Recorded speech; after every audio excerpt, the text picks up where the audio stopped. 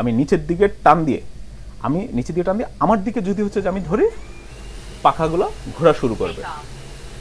এরপর আমি যখন হচ্ছে যে আমার বাম পাশে জয়স্টিকটা সামনের দিকে আমি প্রেস করব, আস্তে আস্তে প্রেস করব, এই ড্রোন আস্তে আস্তে আস্তে আস্তে উপরে উঠবে।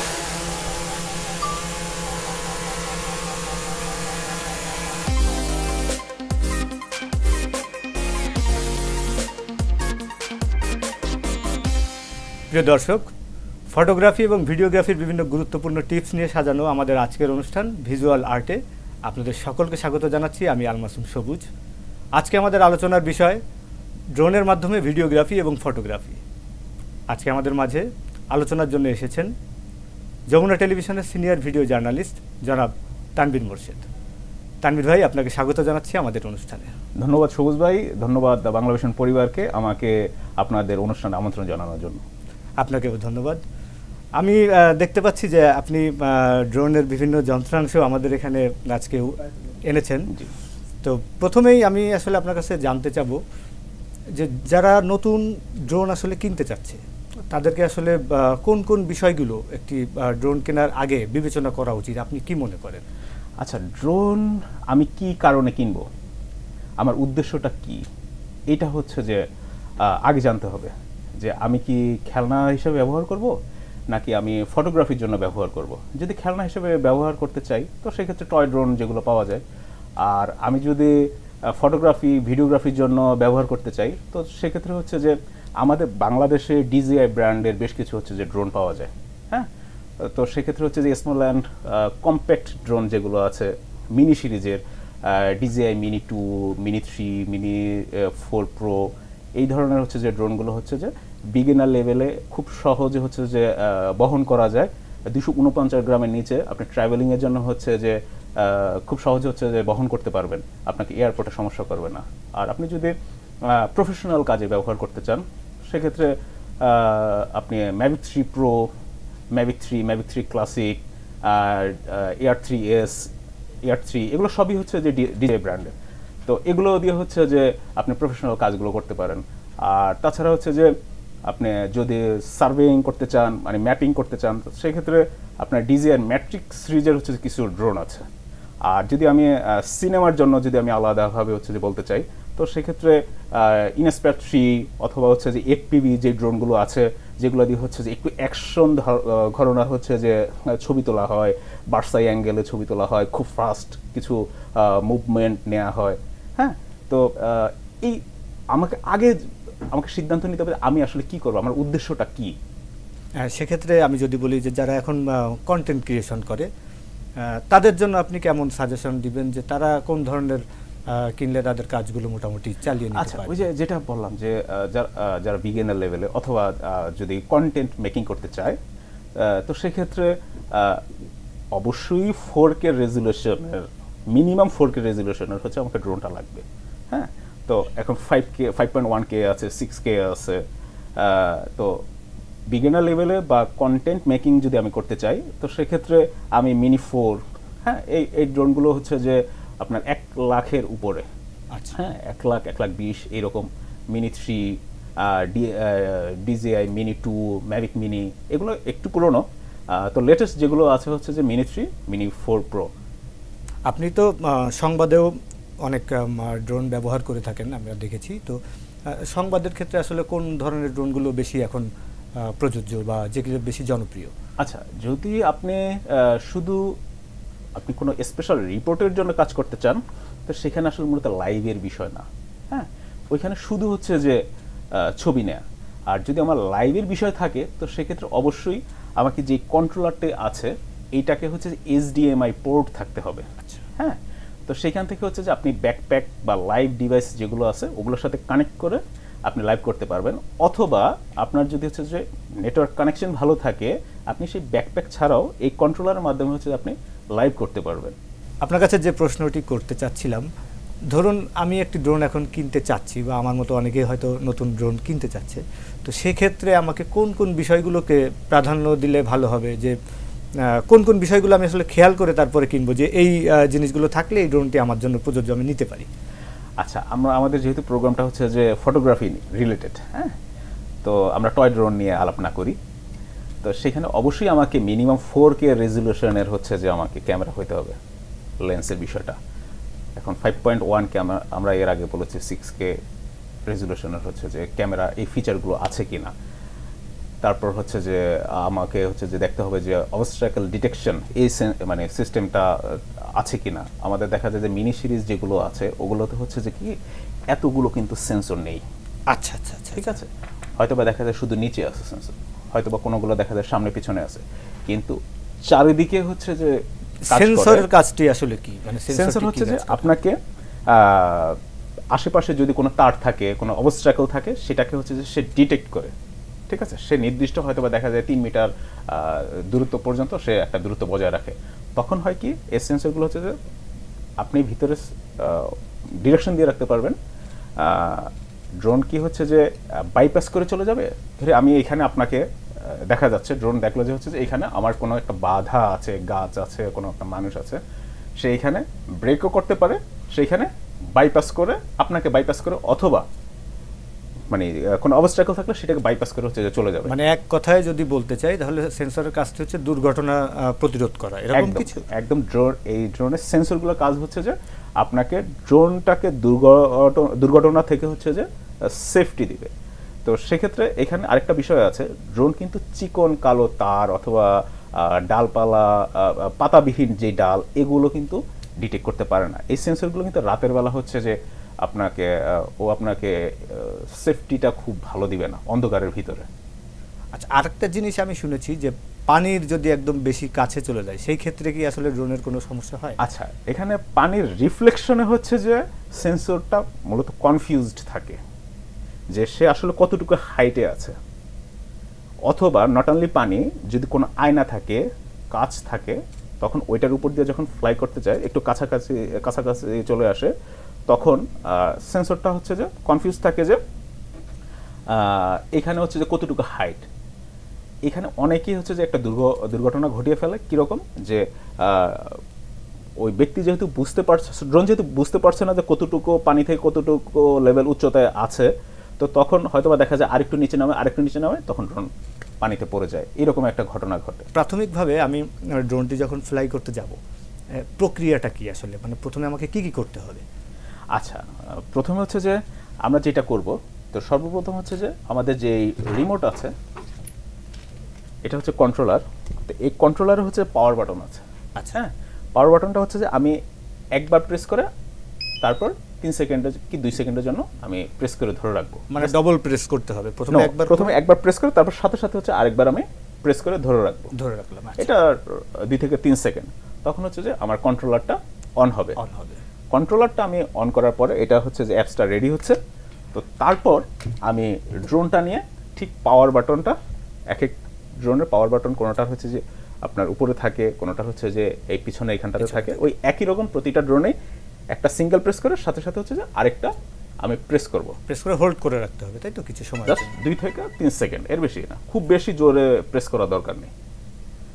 তখন একটা ড্রোন একটা সাউন্ড করবে যে সে রেডি হলো। রেডি হলো। এই যেমন হচ্ছে যে এখন এটা রেডি হয়ে গেছে। তারপরে ওপেন তো হলো। এরপরে আমার আমি কি এখনই ফ্লাই করে ফেলব? নাকি কোনো। কার্যক্রম আছে? এখানে হচ্ছে যে অনেকে আমরা এই ভুলটা করি। যে আমরা ড্রোন অন করলাম অন করার পর সাথে সাথে হচ্ছে আমরা ফ্লাই করতে চাই। ড্রোন এইখানেও ফ্লাই করবে। জিপিএস এর সাথে যদি কানেক্টেড না হয় স্যাটেলাইটের সাথে যদি কানেক্টেড না হয় তারপর হচ্ছে ড্রোন উড়বে। আমি যদি কোনো খোলা আকাশের নিচে উড়াই তখন হচ্ছে যে সে শুধুমাত্র তখন জিপিএস এর সাথে স্যাটেলাইটের সাথে কানেক্টেড হবে। আর আমি যদি এরকম বদ্ধ কোনো জায়গাতে আমি যদি উড়াতে চাই তখন হচ্ছে যে সে ফ্লাই করবে কিন্তু জিপিএস সিস্টেমটা কাজ করবে না। তাহলে যদি আমরা বাইরে যাচ্ছি আমরা অপেক্ষা করব জিপিএসটি কানেকশন হবার জন্য। হ্যাঁ স্যাটেলাইট কানেক্ট স্যাটেলাইটের সাথে কানেক্টেড হওয়ার পরে এখানে উঠবে হোম পয়েন্ট আপডেটেড আচ্ছা এই হোম পয়েন্ট আপডেট এটা একটু বিস্তারিত যদি বুঝিয়ে বলতে। আচ্ছা হোম পয়েন্ট আপডেট এটা হচ্ছে যে আপনি যেই পয়েন্ট থেকে হচ্ছে টেক অফ করবেন ওই পয়েন্টটাকে চিনিয়ে দেয়া। আচ্ছা। আমি যদি সহজভাবে বলি যে পয়েন্ট থেকে আপনি ফ্লাই করবেন বা টেক অফ করবেন ওই পয়েন্টকে চিনিয়ে দেয়া যে কোনো কারণে আমার রিমোট যদি অফ হয়ে যায় বা কন্ট্রোল মানে কন্ট্রোলারের সাথে ড্রোন যদি ডিসকানেক্টেড হয়ে যায় তুমি এই জায়গাটাতে চলে আসবে। মানে এটা হচ্ছে মাদার পয়েন্ট ঘরটা চিনিয়ে দেওয়া। হ্যাঁ এটা চিনিয়ে দেওয়া যে তুমি রিটার্ন টু হোম হচ্ছে তোমার এই পয়েন্ট আপনার এই যে হোম পয়েন্ট আপডেট এই মানে মেশিনটাকে যে আমি ঘরটা চিনিয়ে দিব এটা প্রক্রিয়াটা কি? আসলে আমি কীভাবে এটা দেখাতে পারি? আমার ড্রোন অটোমেটিক সে ডিটেক্ট করবে। যখন স্যাটেলাইটের সাথে অনেকগুলো স্যাটেলাইটের সাথে কানেক্ট হবে বিশটা পঁচিশটা তিরিশটা স্যাটেলাইটের সাথে যখন যত বেশি স্যাটেলাইটের সাথে যুক্ত হবে তত আপনার নেটওয়ার্ক সিস্টেমটা হচ্ছে যে ড্রোনের ভালো থাকবে। সে হোম পয়েন্ট তত অ্যাকুরেসিটা তত ভালো থাকবে। যে আমি এইখান থেকে ফ্লাই করে দিচ্ছি অনেক সময় এখানে আসলে আপনি ল্যান্ড করতে চাইলে ল্যান্ড করবেন না। আমি যদি অটোমেটিক এখানে আমি ল্যান্ড করাতে চাই এখানে হয়তো বা এইখানটাতে করবে অথবা এইখানটাতে করবে। এটা কম্পাস ক্যালিব্রেশনের উপরে ডিপেন্ড করে আর স্যাটেলাইটের সাথে কানেকশনের এটার উপরে ডিপেন্ড করে। আমি একটা জিনিস শুনেছি যে আপনার আমি এখানে আরেকটা জিনিস একটু আরেকটা বিষয় একটু বলে রাখি। আপনি এখান থেকে ফ্লাই করলেন, তা আপনার মনে হলো যে হচ্ছে যে আমি একটু, আমি রোদের ভিতরে আছি, একটু আমি ছায়াতে গিয়ে আমি ফ্লাই করলাম। অথবা আমি নিচতলায় আছি, আমি দুই তলার ছাদে চলে যাব। এরকম অনেক সময় বিষয় থাকতে পারে। অথবা আমি রানিংয়ে থাকতে পারি, যে আমি এইখান থেকে আমি একশো গজ সামনে চলে গেলাম। তখন ড্রোন কিন্তু হিসাব করবে যে হচ্ছে আপনার হোম পয়েন্ট ওইটা। আপনি যেখানে আছেন সেটা না। যেখান থেকে উড়িয়েছেন সেটা তখন আপনি কি করবেন? তখন আপনি করবেন এখানে যে সেফটি অপশন আছে সেফটি অপশনে গিয়ে আপনি হোম পয়েন্ট আপডেট করে নেবেন। কীভাবে আপডেট করবেন? একটা হচ্ছে আপনি ম্যানুয়ালি হচ্ছে দেখিয়ে দিতে পারেন আমি এই বিল্ডিং এর এইখানটাতে আছি তুমি আমি যদি কোনো কারণে হচ্ছে যে আমাকে অটোমেটিক রিটার্ন টু হোম করতে হয় এইখানটাতে তুমি ল্যান্ড করবা। অথবা আপনি কন্ট্রোলারকে দেখিয়ে চিনিয়ে দিতে পারেন। কন্ট্রোলার ওই যে আপনাকে একটা পিন পয়েন্ট দেখাবে যে আপনি আসলে কোথায় যদি কন্ট্রোলার সিলেক্ট করেন সে অটোমেটিক কন্ট্রোলার নিয়ে নেবে। আপনি একশো গজ দূরে চলে গেছেন সে একশো গজ দূরে কন্ট্রোলার ওই পয়েন্টে গিয়ে ল্যান্ড করবে। আবার আপনি আরেকটু সামনে চলে গেলেন আবার হচ্ছে যে আপনি কন্ট্রোলারকে চিনিয়ে দিলেন যে তুমি এই কন্ট্রোলারের এইখানটাতে ল্যান্ড করবে। আচ্ছা এখন আমি ড্রোনগুলো আসলে কোথায় উড়াতে পারব আর কোথায় পারব না? এরকম কি কোনো রেস্ট্রিকশন আছে? হ্যাঁ এটা তো রেস্ট্রিকশন আছে যেমন কেপিআই এলাকা বলেন সেনানিবাস এলাকা বলেন এগুলোতে হচ্ছে যে আপনি অনুমতি ছাড়া উড়ানো যাবে না। এরপর এয়ারপোর্ট জোন বলেন, খুবই সেন্সিটিভ এরিয়া এখানে এয়ারপোর্ট জোনের আবার কিছু পার্ট আছে যে রেড জোন আছে, আপনার ব্লু জোন আছে ইয়েলো জোন আছে। তাই ইয়েলো জোনে হচ্ছে যে আপনি এমনিতেই আপনি দেখে শুনে বাংলাদেশের হচ্ছে যে লতে যেটা দেয়া আছে, আপনি সিক্সটি মিটার পর্যন্ত আপনি ড্রোন উঠাতে পারবেন, একশো আশি ফুট। তো সিক্সটি মিটার পর্যন্ত হচ্ছে আপনি উঠাতে পারবেন। কিন্তু আপনাকে এয়ারপোর্ট জোনেও আপনি সিক্সটি মিটার উঠাতে পারলেও আপনাকে সাবধানতা অবলম্বন করতে হবে। কারণ ওইখানে অনেক বিমান টেক অফ করে ল্যান্ড করে। আর আরেকটা অপশন ওইখানে দেখা যায়, আপনারা সেটা দেখতে পারবেন এয়ারপোর্ট জোনের ব্লু জোন যেটা অথরাইজেশন জোন আরেকটা আছে রেস্ট্রিক্ট রেস্ট্রিক্টেড জোন তো অথরাই অথরাইজড জোন যেটা আছে, তো ওইখানে আপনি ডিজেয়ার ওয়েবসাইট থেকে হচ্ছে যে আপনি পারমিশন নিতে হবে। আপনার নিজের একটা প্রোফাইল আগে ক্রিয়েট করতে হবে। দেন আপনি ওইখান থেকে হচ্ছে যে আপনি পারমিশন নিয়ে নেবেন যে আমি এই এয়ারপোর্টে ফ্লাই এই এয়ারপোর্ট জোনে ফ্লাই করতে চাই। একটা এয়ারপোর্টের একটা নির্দিষ্ট বলয় আছে। এই বলয়ে আমি ফ্লাই করতে চাই। আপনি রেড বল, বলয়ে ফ্লাই করতে পারবেন না। রেড জোন যেটা আছে। আর যেটা অথরাইজেশন জোন ব্লু জোন যেটা, ওইখানে হচ্ছে যে আপনি ফ্লাই করতে পারবেন। আপনি যখন অনুমতি নেবেন তখন আপনার পুরোটাই হচ্ছে যে হোয়াইট হয়ে যাবে। স্বাভাবিক অবস্থা ম্যাপ যেরকম হোয়াইট থাকে ওই রকম হোয়াইট রেড জন্য যদি আমি ফ্লাই করি ভুল করে সেক্ষেত্রে আসলে কি হবে? আপনি রেড জন্য আপনি চাইলেও ফ্লাই করতে পারবেন না। আচ্ছা। হ্যাঁ এখানে আপনি তখন পারবেন যখন হচ্ছে আপনি সিভিল এভিয়েশন থেকে হচ্ছে আপনি পারমিশন নিতে পারবেন। সিভিল এভিয়েশন যখন আপনাকে একটা অনুমতি দিবে সেটা হচ্ছে যে আপনি ডিজিআর সাথে হচ্ছে যে যোগাযোগ করে ওদের কাছে আপনি যখন সাবমিট করবেন সেটা মেইলের মাধ্যমে হোক তখন আপনাকে নির্দিষ্ট সময়ের জন্য হচ্ছে যে বলবে যে আপনি এই সময়টাতে উড়াতে পারবেন। তখন সিভিল এভিয়েশন আপনাকে নির্দেশনা দেবে আপনি এই সময় উড়াতে পারবেন এই সময় আপনাকে নামাতে হবে। প্রাথমিকভাবে যখন আমরা নতুন ওড়াতে যাচ্ছি তখন আসলে কি ভুলগুলো আমরা বেশি করে থাকি? আচ্ছা সবচাইতে বেশি ভুল মানে ক্যামেরার ক্ষেত্রে যে ভুলটা সবচাইতে বেশি করা হয় এই গিম্বেল কাভার বা লেন্স কাভারটা না খুলেই আমরা ড্রোনটা অন করে ফেলি। আচ্ছা সেক্ষেত্রে কি সমস্যা হতে পারে? এখানে হচ্ছে যে যে গিম্বেলের ভিতরে যে মোটরগুলো থাকে এই মোটরগুলো নষ্ট হয়ে যায় বা প্রপারভাবে কাজ করে না। ঠিক আছে? আর উড়ানোর ক্ষেত্রে আসলে ড্রোনের আমি শুরুর দিকে যেটা বলেছি যে ড্রোনের অপারেটিংয়ে সেভেন্টি পার্সেন্ট হচ্ছে যে সেফটি ইস্যু নিয়ে। সেটা আপনি ব্যাটারি বলেন জিপিএস বলেন আপনার অবস্ট্রাকল ডিটেকশনের বিষয়ে বলেন তারপর হচ্ছে যে আমার কি বলে, পাখির কথা যদি আপনি বলেন হ্যাঁ?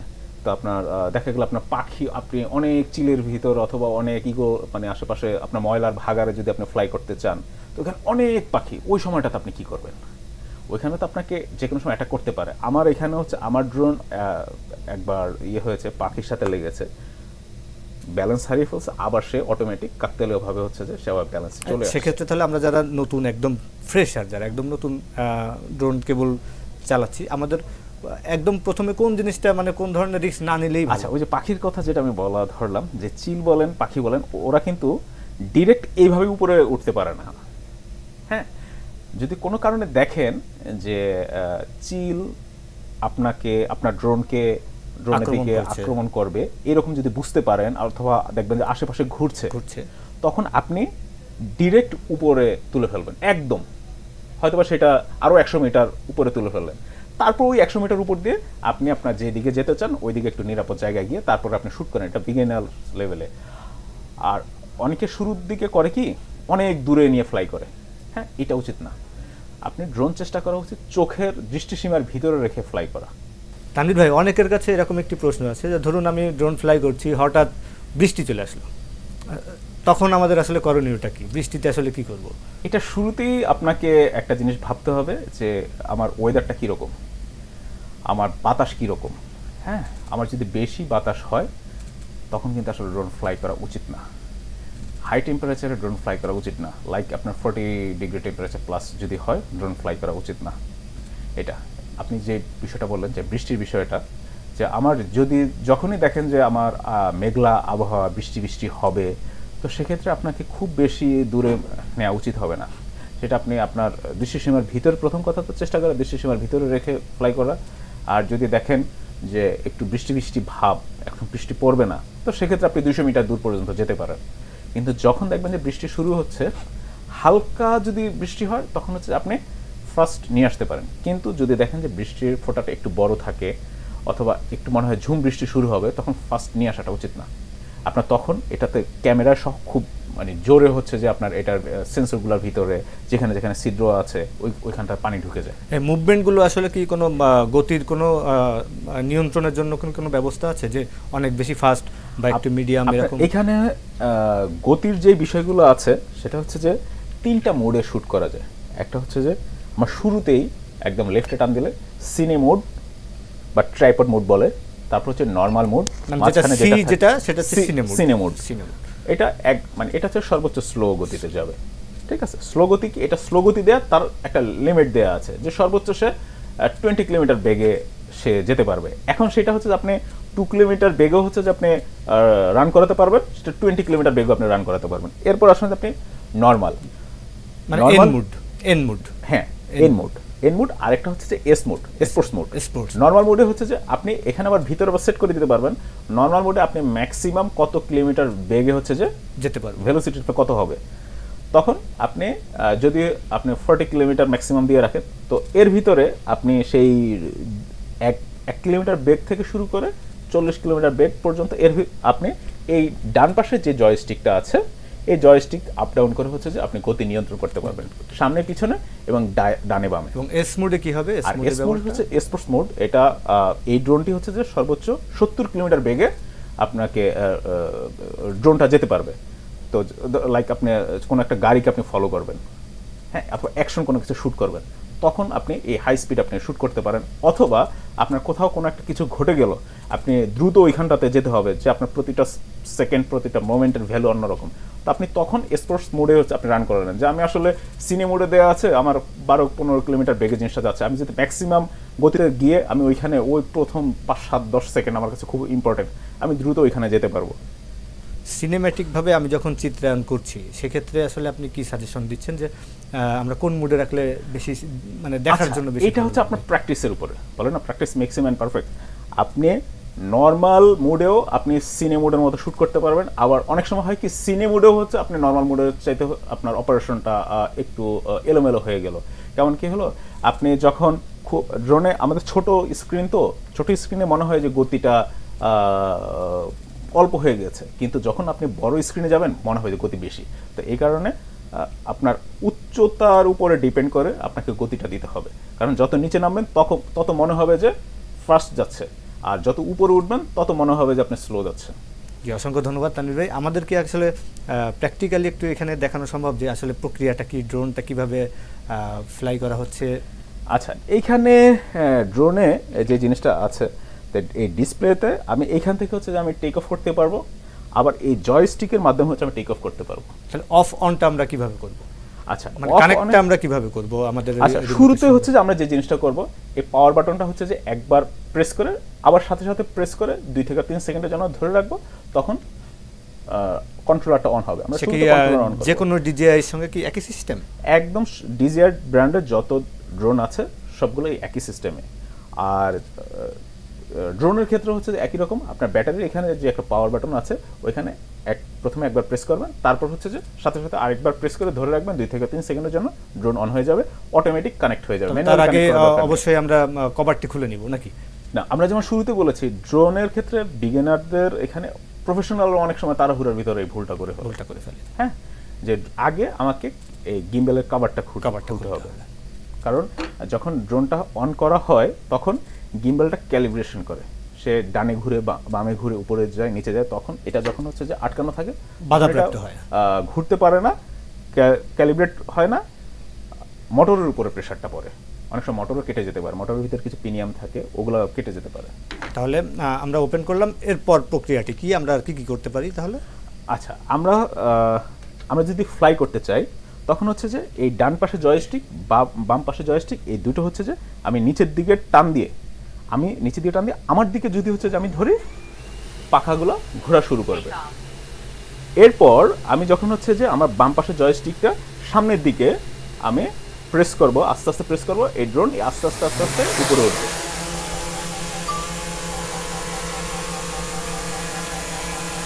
এরপর আমি এই আস্তে আমি পিছনে নিয়ে নিচ্ছি। কন্ট্রোলের আসলে কোনটা দিয়ে সামনে যাচ্ছে, কোনটা দিয়ে পিছিয়ে ডানে প্রেস করি, ডানে ড্রোনটা রাইট ট্র্যাক হবে। আর যদি আমি লেফটে প্রেস করি ড্রোনটা লেফট ট্র্যাক হবে। আর এই বাম পাশের জয় স্টিকটা আমি যখন হচ্ছে যে ফ্লাই করার পরে, আমি যখন ড্রোনটা প্রাথমিকভাবে, আমি আমার এক দুই মিটার উপরে যখন হচ্ছে যে আমি হোভারিং অবস্থা থাকবে, যখন আমি উপরের দিকে দিব, এটা উপরে যাবে, নিচের দিকে দিলে আমার নিচে নামবে। আর আমি যখন হচ্ছে বাম পাশের এই জয়স্টিকটা ডান দিকে প্রেস করব ড্রোনটা ক্লোকওয়াইজ ঘুরবে, আর যদি বাম দিকে প্রেস করি, তখন এটা বাম দিকে ঘুরবে হ্যাঁ? মানে এন্টি ক্লোকওয়াইজ আর যখন হচ্ছে যে আমি ডান দিকে প্রেস করব, তখন হচ্ছে যে এটা ক্লোকওয়াইজ ঘুরবে। তো এখানে আমার এখানে এখানে দেখা যাচ্ছে যে সেন্সর আমাকে শুধু অ্যালার্ম দিচ্ছে বিপ দিচ্ছে যে তোমার এখানে আমি আমরা দুজন হচ্ছে যে একটা সেন্সরের যে এটাকে একটা আমরা এখন জিপিএস এর আওতায় নাই। না না এখানে সেন্সর বলতেছে যে ইয়েলো দেখাচ্ছে সেন্সর ইয়েলো দেখাচ্ছে যে এখানে আশেপাশে অবস্ট্রাকল আছে। আমার নির্দিষ্ট ডানে বামে এক দুই মিটারের ভিতরে আছে। আমার যেমন আমি নিচ থেকে এখানে দেখাচ্ছে আমি এক মিটার উপরে। যত আমি যদি হচ্ছে আরেকটু ডানে যাই হয়তো বা সেটের একটু কাছে চলে যাবে তখন রেড দেখাবে। আমার এখানে হচ্ছে ব্রেক অপশনটা দেওয়া আছে সে আর যাবে না। মানে সেন্সরের যে আলাপটা আমরা করেছিলাম প্রথমে সুরক্ষার ব্যাপারে। ল্যান্ডিং এর ক্ষেত্রে আমরা ডিসপ্লেতে আমি প্রেস করে ল্যান্ডিং আছে রিটার্ন টু হোম আছে। তা আমার যদি কাছাকাছি থাকে আমি এখানে ল্যান্ড করতে চাইলে আমি সেটা এই যে এখানে আমি প্রেস করে ল্যান্ড দেবো। এখানে আমাকে রিটার্ন টু হোম দেখাবে যেখান তো আমরা তো হোম যেহেতু আমরা চিনিয়ে রাখি না, সুতরাং এখন এখন রিটার্ন টু হোম দেখাবে না। দেখাবে আর যখন হচ্ছে যে আর এখানে যদি আমি জয়স্টিক দিয়ে আমি ল্যান্ড করাতে চাই জাস্ট এখানে জয়স্টিকটা আমি নিচে প্রেস করে ধরে রাখব।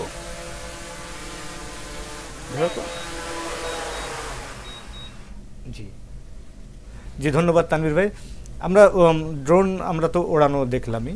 তো একটা ব্যাটারি আসলে কত সময় সাপোর্ট দিচ্ছে? এই ব্যাটারিগুলো দুই ধরনের মোটামুটি এখন মার্কেটে পাওয়া যায়। কিছু পাওয়া যায় ত্রিশ মিনিটের মতো আর কিছু কিছু পাওয়া যায় ফর্টি ফাইভ মিনিটসের মতো।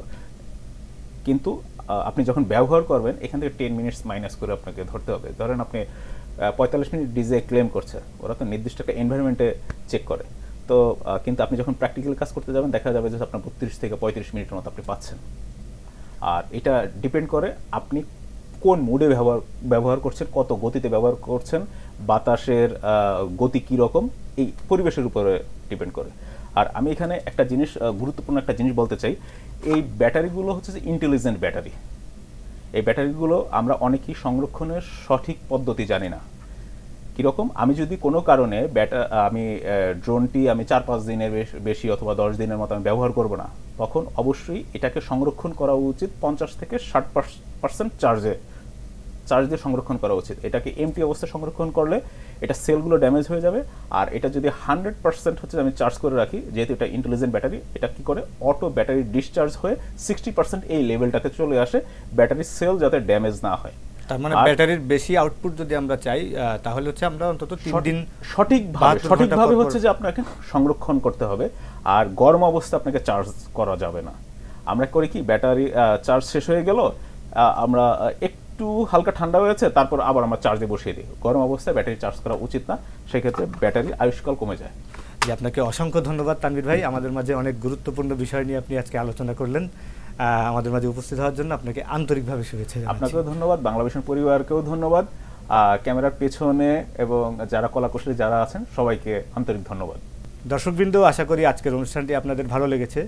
ফটোগ্রাফি এবং ভিডিওগ্রাফি সংক্রান্ত যে কোনো প্রশ্ন আপনাদের যদি থেকে থাকে, আপনারা আমাদেরকে কমেন্ট বক্সে অবশ্যই জানাবেন এবং আজকের এই পর্বটি আপনাদের কেমন লাগল বা কোনো বিষয় যদি আপনাদের ড্রোন সংক্রান্ত যে কোনো প্রশ্ন যদি থেকে থাকে, অবশ্যই আমাদেরকে কমেন্ট বক্সে জানাবেন। আগামীতে আমরা এরকম আরও অন্যান্য প্রোগ্রাম নিয়ে আপনাদের সামনে হাজির হব। ততক্ষণ পর্যন্ত সকলে ভালো থাকবেন, সুস্থ থাকবেন। আল্লাহ হাফেজ।